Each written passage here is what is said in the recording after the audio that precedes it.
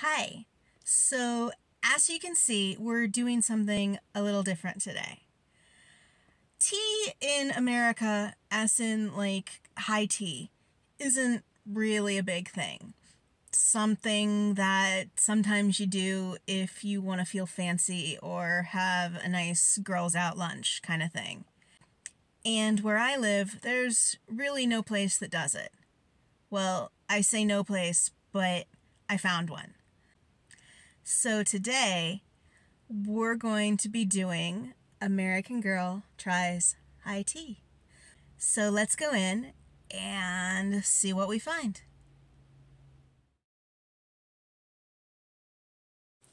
So it was super cute in here. They had teapots all around the room for decoration. If I could find like those Santa Claus teapots or that owl or any of those that looks like little houses, I would totally start a teapot collection of my own. There was a full page on the menu that was just different types of tea. It took us quite a while to decide what we wanted. Now, this is a full restaurant, so they do things other than just high tea as well. So, this is a look at a few of the other things on the menu. Because it was lunchtime, we went with the Victorian tea that came with quiche and soup or salad, as well as the other tea accoutrement. Our tea was served in more adorable pots that they put on these little candle holder things to help keep the tea warm. This one that I'm trying first is a Moroccan mint.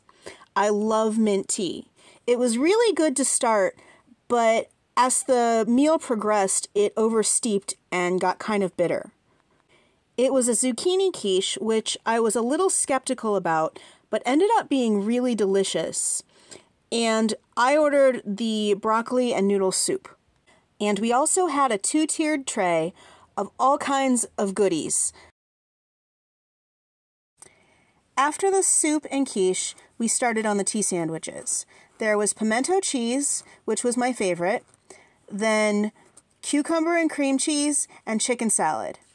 I know the cookie cutter shapes aren't quite authentic, but I thought they were adorable.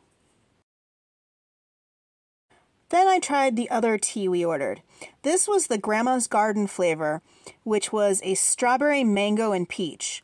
This was absolutely delicious. Then on to the sweet things. This first bit here was what they were calling a scone. I like that they used the heart shaped cookie cutter, but it was in no way an authentic British scone.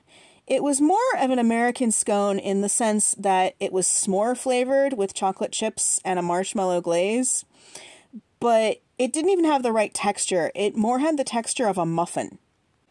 The eclair and the strawberry were pretty self explanatory and good, but the best thing on the plate was this little bonbon truffle thing. It was filled with, like, it was almost like a cake pop. I would eat a dozen of those. And then there was this lemon blueberry cake that was very reminiscent of a lemon drizzle cake, but the glaze on the top was a bit more like frosting. The blueberries were a nice touch, though. Well, that was a lot of fun. And I know not everything there was completely authentic.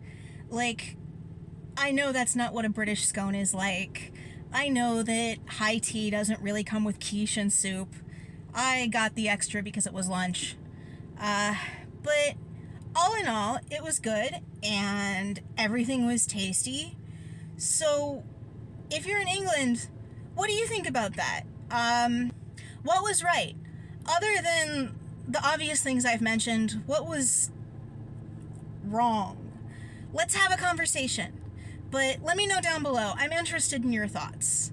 I think if I find another place that does a high tea, I will definitely try it again. But that's all I've got for this time.